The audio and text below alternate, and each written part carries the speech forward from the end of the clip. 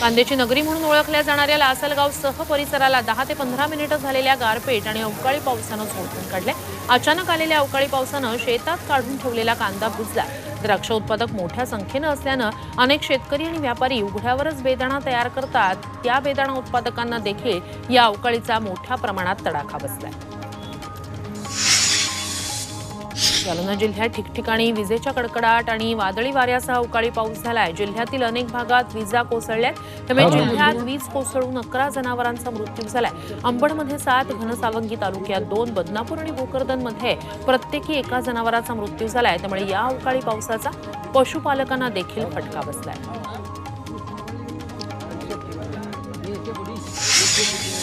आणि महत्वाची बातमी आहे बातमी पीएमसी बँके संदर्भातील आहे. पीएमसी बँकेच्या विलिनीकरणानंतरही खातेधारकांच्या पदरी निराशाच आलेली आहे.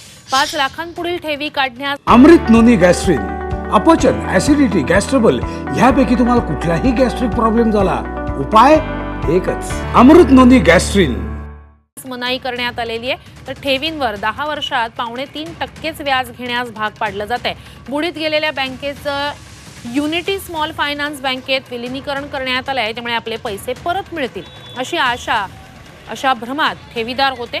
मात्र सर्वाधिक फटका ज्येष्ठ नागरिकांना बसलाय. बँकेतून केवळ पाच लाखांपर्यंतच्याच ठेवी काढता येतात. अनेक ज्येष्ठ नागरिकांच्या ठेवी या पाच लाखांहून अधिक आहेत. आणि ठेवींवर पावणे तीन टक्केच व्याज मिळत आहे त्यामुळे या ज्येष्ठ नागरिकांना दैनंदिन गरजा भागवणंही कठीण झालेलं आहे.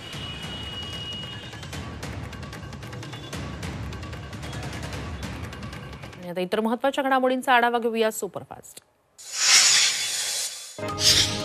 मध्य हार्बर आणि पश्चिम मार्गावर उद्या तिन्ही रेल्वे मार्गांवर देखभाल दुरुस्तीसाठी मेगा ब्लॉक घेतला जाणार आहे. मध्य रेल्वेवर माटुंगा ते मुलुंड अपडाऊन जलद मार्गावर हार्बर मार्गावरील सीएसएमटी ते Chunabhatti Vandre up and down मार्गावर आणि पश्चिम रेल्वेवरील जोगेश्वरी ते सांताक्रूज दरम्यान मेगा ब्लॉक घेतला जाणार आहे.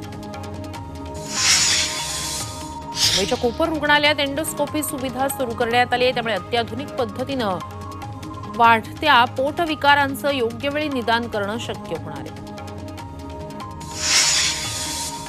भारतीय कुस्ती महासंघाचे अध्यक्ष ब्रुजभूषण सिंह यांच्या विरोधात अखेर दोन गुन्हे दाखल करण्यात आलेत. ब्रुजभूषण सिंह यांच्यावर पॉक्सोसह इतर कलम लावण्यात आले पॉक्सो अंतर्गत गुन्हा दाखल झालाय. त्यामुळे ब्रुजभूषण यांच्यावर अटकेची टांगती तलवार कायम आहे. सिंह यांच्या विरोधात महिला कुस्तीपटूंनी लैंगिक शोषणाची तक्रार केली होती. जोपर्यंत ब्रुजभूषण यांना अटक होत नाही तोपर्यंत कुस्तीपटू आंदोलनावर ठाम आहेत.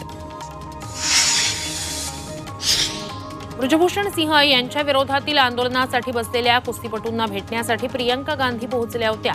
जंतर मंतरवर आंदोलनासाठी बसलेल्या कुस्तीपटू साक्षी मलिक विनेश फोगट यांच्यासोबत त्यांनी आंदोलनस्थळी चर्चा केली. आयपीएलच्या अडतीसाव्या सामन्यात लखनौ सुपर जायंट्सनं पंजाब किंग्सवर दणदणीत विजय मिळवलाय. मोहालीच्या बिंद्रा स्टेडियमवर हा सामना रंगला.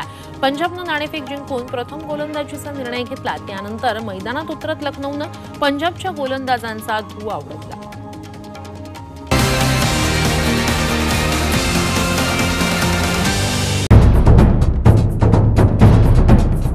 सह्याद्रीची उंची म्हणजे